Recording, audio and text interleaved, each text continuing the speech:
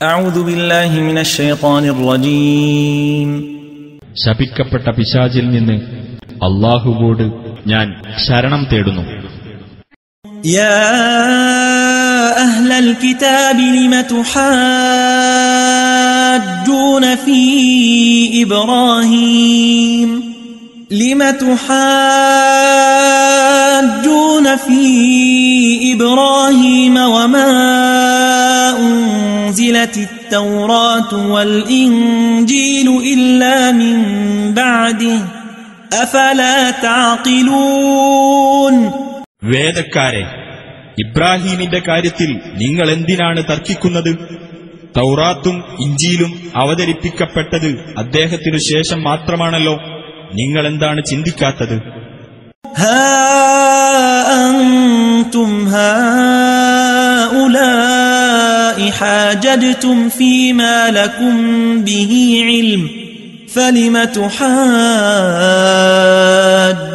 فيما ليس لكم به علم؟ والله يعلم وأنتم لا تعلمون. هي كوتري നിങ്ങൾക്ക് അറിവുള്ള കാര്യത്തെപ്പറ്റി നിങ്ങൾ തർക്കിച്ചു ഇനി നിങ്ങൾക്കറിവില്ലാത്ത വിഷയത്തിൽ നിങ്ങൾ എന്തിന് തർക്കിക്കുന്നു അള്ളാഹു അറിയുന്നു നിങ്ങൾ അറിയുന്നില്ല ما كان إبراهيم يهوديا